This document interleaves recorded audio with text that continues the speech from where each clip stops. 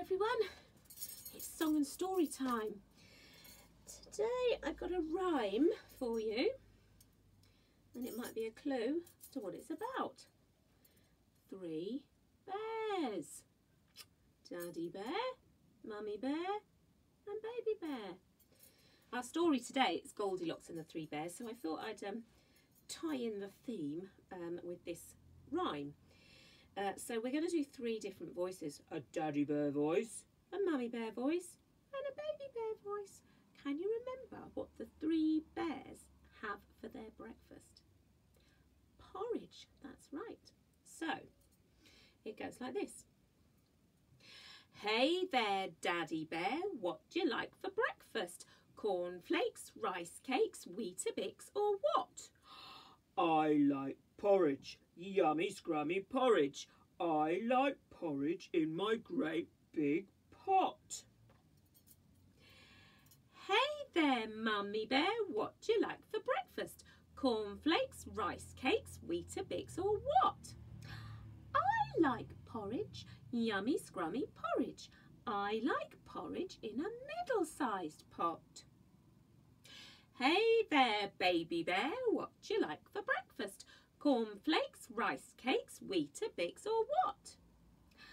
I like porridge, yummy scrummy porridge. I like porridge in my teeny weeny pot. there we go. So I'll put my bears down there for now. And let's see what happens to Goldilocks and the three bears. Deep in the forest lived three bears. There was a big father bear, middle-sized mother bear, and tiny little baby bear. Father bear had a big voice. Mother bear had a middle-sized voice, and baby bear had a tiny little voice. You could only just hear it. Bright and early one morning, Mother Bear was busy making breakfast. We'll enjoy our porridge even more if we have a little walk first, she said. But while the bears were walking, so was someone else. It was a little girl called Goldilocks. She had golden hair and her cheeks were rosy, but little Goldilocks was rather nosy. When she saw the house with the door open wide, that naughty little girl walked right inside. She says, I smell porridge. Goldilocks was feeling peckish. There on the table she saw three bowls of porridge. So she picked up a spoon to have a taste. The first bowl of porridge was much too hot. Ooh,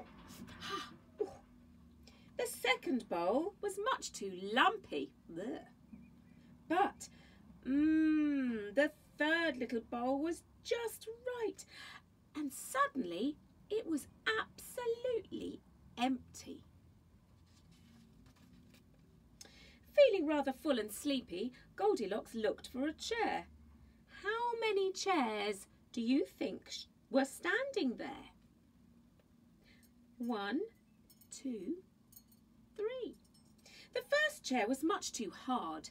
The second chair was much too soft. But the third little chair was just right. For a baby bear, Goldilocks sat down and... Crash! She smashed the little chair. Ouch, she says. Goldilocks felt tired and cross after such a bruising bump. She quickly hurried up the stairs and peeked into the bedroom. There she saw a big bed, a middle-sized bed and a tiny little cosy bed. The first bed was much too hard. The second bed was much too soft. But, mmm, the third little bed was just right just right for a snooze. Meanwhile, on the forest track, the three bears were coming back. They noticed right away that things were wrong. Daddy Bear says, I smell trouble. Someone's been eating my porridge, growled Father Bear. Someone's been eating my porridge, said Mother Bear. Baby Bear, and they've eaten it all up. Someone's been sitting in my chair, growled Father Bear. Someone's been sitting in my chair, said Mother Bear. Someone's been sitting in my chair too, sobbed Baby Bear. He was the saddest bear of all. There was nothing left of his little chair. Quietly on their fluffy paws, the bears crept slowly up the stairs. Someone's been sleeping in my bed, grunted Father Bear. Someone's been sleeping in my bed, said Mother Bear.